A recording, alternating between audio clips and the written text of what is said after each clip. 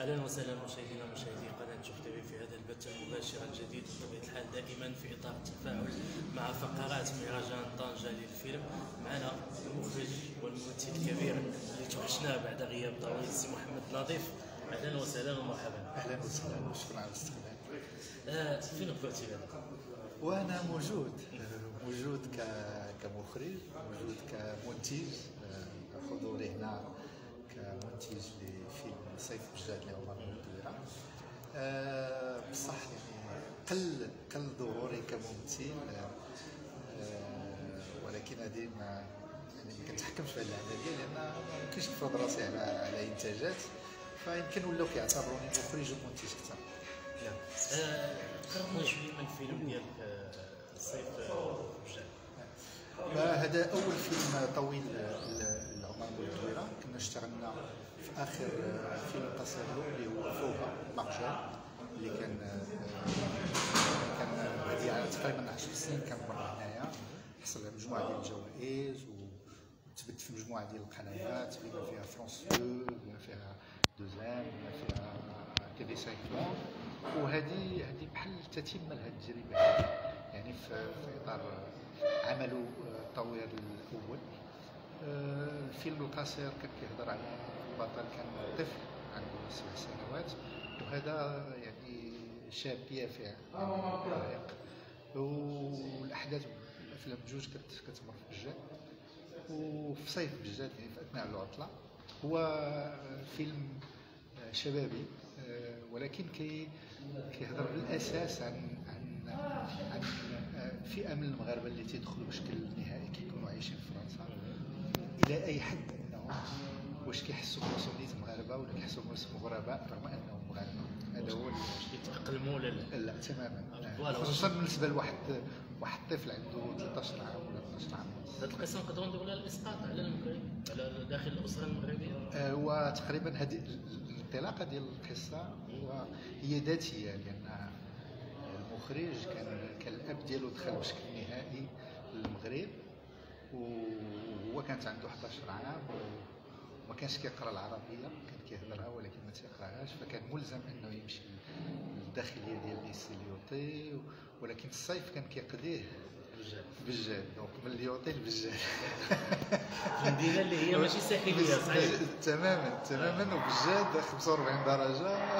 صعيبه صعيبه وصعيبه صعيبة. بزاف كاع أنا بغيت نسولك يعني هذا هذا الفيلم الان هو الان الجديد ديالك من غير هذا آه، كاين آه، فيلم قصير كممثل هو أميرة ل ل- لرشيده السعدي.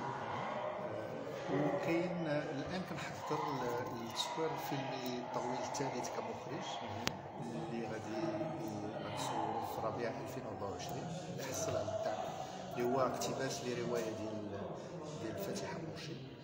آه، وفي نفس الوقت كن كنطور آه، أفلام مع مخرجين آخرين آه، كمنتج وقريبا غيدوز لي في القناة الأولى فيلم الطويل الثاني اللي هو نساء الجناح جيم دائما واحد آه، مجموعة من الأفلام اللي كت كت كت- كتقدمهم القناة كل كل جمعة. نعم. هو الفيلم ديال نساء الجناح جيم اللي هو فيلم مهم بطبيعة الحال فيه بزاف ديال المواضيع اللي هي آه، اجتماعيه أنا بغيت نسولك أنت جبتي هاد النساء الآن آه، والجيم فشنو شنو شنو شنو رأيك في النقاش اللي داير الآن على مدونة النساء؟ مادام حنا جبدنا النساء ومادام عندك فيلم كيتحدث على النساء. و آه، اش غنقول لك آه، آه، آه، على وضعيه المراه مجموعه ديال الحوايج منها ملاحظات على المجتمع المغربي أنا أنا في نظري آه، كفنان آه، يعني ال- المجتمع المغربي كيسير برجل واحدة يعني يعني ما كيمشيوش العيالات والرجال في في نفس بنفس الإيقاع وفي نفس فانا من الناس اللي كيأمنوا يعني المساواه بين قوسين. مساواة ولكن في حدود. آه، لا أنا كنقول خص الرجل والمرأة يمشيو عندهم نفس الانطلاق. نفس المسار. في نفس الانطلاقه لأن آه، هناك تكامل بين الرجل المراه والرجل هناك بعض الحقوق اللي ضايعين فيها لأن المغرب خصو خصو واحد واحد لا ميزا نيفو بالنسبة لشنو هو؟ على المستوى الدولي وعلى مستوى المنظمات الدولية اللي كتحاول. لأن هنا ما كنهضروش غير على على على المرأة ودولا نهضروا على الاسره نهضروا على الطفل ف ف يعني وهناك يعني غيكون نقاش غيكون نقاش غيكون نقاش غيكون نقاش حاد غيكون يعني يكون يعني انت غيكون انت ولكن ولكن أنا الفيلم غادي يخلق نقاش. أنا الفيلم الفيلم الفيلم كيطرح نقاش. الفيلم كيطرح نقاش كيطرح نقاش لأن الفيلم أنا تيهضر على الاكتئاب ولكن ما كيهضرش على الاكتئاب كمرض يعني كيقيس النساء أكثر من الرجال كيهضر على المشاكل اللي وصلت الشخصيات الرئيسية في الفيلم هذا الاكتئاب. وكيهضر بالأخص على واحد الصداقة قوية ما بين ربعه ديال الشخصيات اللي كيضافروا جهودهم باش يتخلصوا من مشاكلهم. وهذا الشيء باش نقول بأن المراه خصها تنزع حقوقها هي اللي ما خصهاش تسمى الراجل حقوق نعم. كيعجبني هذا الانتباه ديالك على المراه المغربيه بطبيعة الحال.